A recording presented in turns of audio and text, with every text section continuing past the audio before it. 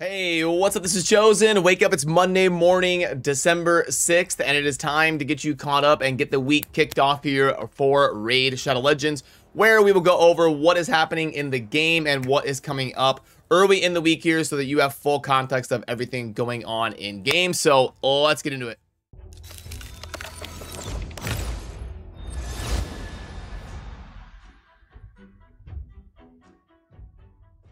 Alrighty, so the first thing to take note of is this announcement right here coming down from Plarium earlier this morning, letting us know that 5.00 is going to start updating on people's devices and stuff, but, but it's not going to actually hit the game quite yet, but the Hydra is almost here. And I have mentioned this once before, but I want to make sure and drive it home. I know everybody is excited about the Empower system, but anyway, uh, if you are going to be empowering champions, uh, hold off a little bit until you get a feel for how the Hydra is going to play because we can only use champions uh, like very sparingly versus the Hydra. So let's say you've got two of a really good champion. Uh, you may want that champion in two different Hydra teams, and you may regret uh, empowering that champion and how and now only having one of them at your disposal. So uh, go ahead and hang off just a little bit until we see exactly how the Hydra teams are going to shake out and who exactly you're going to be using before you go ahead and, and start making legendaries more powerful that you have.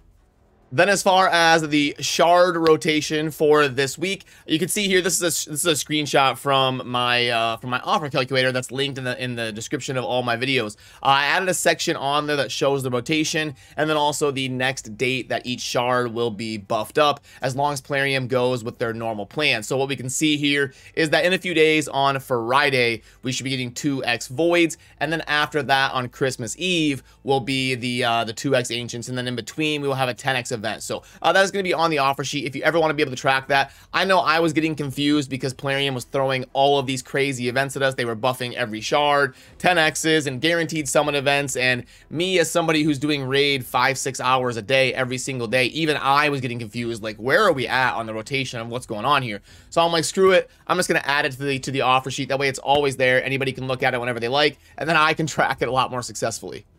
Then as far as clan stuff going on right now, obviously the uh, clan quests are going to be coming to a close today. You can see here there's only a few hours up there up top, so you're going to want to focus on your clan quests today. And Plarium has thrown us for a loop on CVC. They tried it out during the weekend. They're, they're really switching things around, and uh, we, we, we saw CVC start at a time we have never seen it before. So I don't know if we're going to have this week off and then have one on Tuesday, like eight days from now, because they usually usually do them on Tuesdays. I don't know if they're going to have one eight days from now or if they're going to wait like 15 days, skip a week, and get back to the normal rotation. I don't know exactly how that's going to work, but I do videos like this, uh, kind of covering everything going on in Raid two or three times a week, and I will keep you in the loop as soon as I know exactly when the next CVC is going to be. Uh, but we've got both the, the, the CVC or the CVC event, like your match, and the clan quest ending today. So make sure you're getting all of that clan stuff in that you're trying to get done for your team.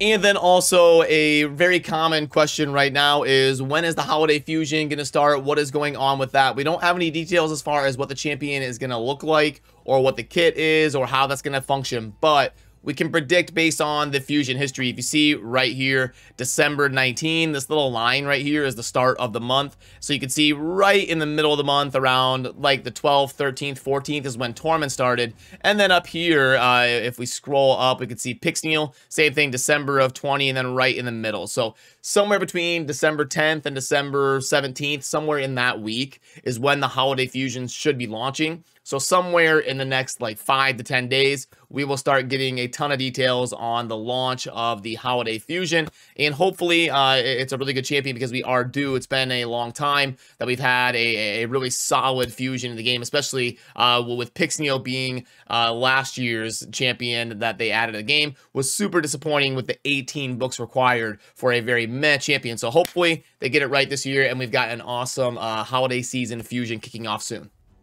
Which ends up meaning that right now is kind of the calm before the storm, before things are going to get crazy and hectic for what I anticipate to be a pretty crazy holiday fusion this year. But worth noting and keeping you in the loop that tomorrow we're going to be getting a 2x Shadowkin event for the Spider, and then we've got some big artifact events coming up. We're going to have the Dragon Lair uh, with a 2x speed event that lasts 72 hours, and that is going to be starting on December 10th in four days. And then after that, we're going to be getting a 2x Savage event in the Fire Knight's Castle on Monday, December 13th, exactly a week from now. So uh, lots of big opportunities to really spend tons of energy going after speed and Savage gear, most notably. I don't think the Shadowkin accessory uh, event is going to interest you as much, but definitely the speed and Savage gear probably will.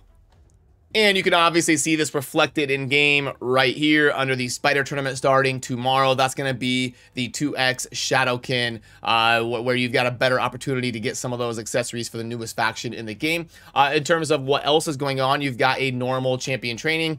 Uh, don't feel bad about missing out on this. Like I said, this is kind of an opportunity to catch your breath and, and get ready, save up some resources for uh, the holiday season fusion. But uh, you, you do want to get stuff done for CVC if you're in a close match, obviously. The Ice Golem tournament is the same thing. This is just a normal tournament. You don't got to feel bad about missing out on that either. And then we already covered the Spider tournament that's going to be kicking off tomorrow, coinciding with the Shadowkin uh, accessory event. The Artifact Enhancement event is going to be ending in a couple days. You want to at least get to 1500, but it's also a good opportunity. You get decent points for upgrading artifacts during CVC. So at least get to 1500 uh, today during CVC, I would say. And then the Dungeon Divers is going to be coinciding with whatever you are grinding in game. We got a couple days left on this. So if you do try to scoop up some of these Shadowkin accessories, you'll at least double dip a little bit for a Dungeon Divers. And getting to 3k won't hurt because there are core hammers up for grabs as well. Then obviously on Mondays, it is arena reset time. So make sure you have got your one person or meme defenses set so that we can all farm up CVC points and farm up the Bazaar tokens, and obviously get your uh, get your classic arena in order. And by the way, uh, we are getting Gold 5 to be launching soon. So I know a lot of you out there, like 70, 75% of you are in Gold 4. Uh, maybe it's time to start focusing on that arena team a little bit more. Even if you've been farming Gold 4 for months at this point, uh, we are going to be getting a Gold 5 at some point. So start getting that arena roster really in order because I'm a, I, like usually the end game uh, for the Forge, the bottleneck ends up being Magisteel. So uh, it is going to be important to go up to gold 5 if you can, because you'll get more Magisteel that you can then spend in the Forge during CVC and to get better gear uh, and some of those insane new sets like the Lethal set coming to the Forge and stuff like that. So uh, yeah, go ahead and focus on that because uh, when that launches, I, I anticipate the Classic Arena will get pretty competitive again. So now we can take a look in the shop and go over this real quick. So we've got the monthly pack. Okay, we all know the drill there. That's about a 2.5. Uh, the mini mix is the same. It's about a 2.7, 2.8. Both of these are decent purchases if you're just looking for general utility spending on raid typically. Uh, but let's go over some of the stuff you may not be familiar with. Uh, faction accessories. $20 for five-star accessories is not going to cut it. Uh, the contender pack, we can plug this one in. I've seen this one before, but it's not super common. So we've got six arena refills, okay, and then we're going to go two and two on the tomes.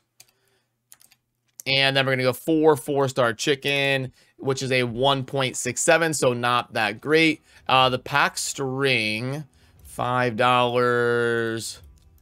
Um, this looks okay. It looks decent. Not amazing, but decent. It's probably like a 1.8, 1.9 or something uh, in terms of the whole string.